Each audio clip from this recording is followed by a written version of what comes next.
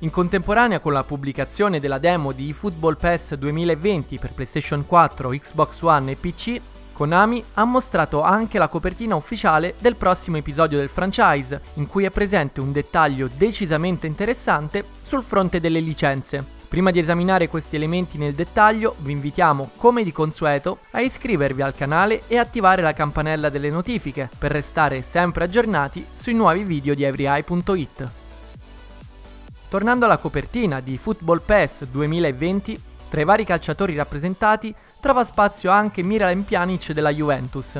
Come sappiamo, il publisher giapponese ha stupito tutti a metà luglio acquistando in esclusiva la licenza della vecchia signora, costringendo il concorrente FIFA 20 ad adottare il nome di Piemonte Calcio per i bianconeri. In seguito, anche il Bayern Monaco ha stretto una partnership in tal senso.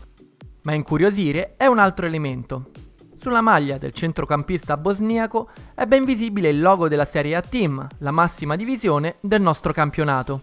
I diritti legati alla Serie A negli ultimi anni erano completamente in mano ad Electronic Arts e FIFA, e il logo non può ovviamente essere utilizzato senza autorizzazione e possesso della licenza. Possiamo ipotizzare quindi che Konami abbia acquistato i diritti della serie A Team, che potrebbe essere presente in PES 2020, esattamente come accaduto con il campionato brasiliano. Difficile sostenere con certezza se la licenza della prima divisione possa essere diventata esclusiva del brand Pro Evolution Soccer a discapito del gioco di EA Sports. Al momento quindi è impossibile sbilanciarsi e non ci resta che attendere comunicazioni ufficiali in merito da parte di Konami.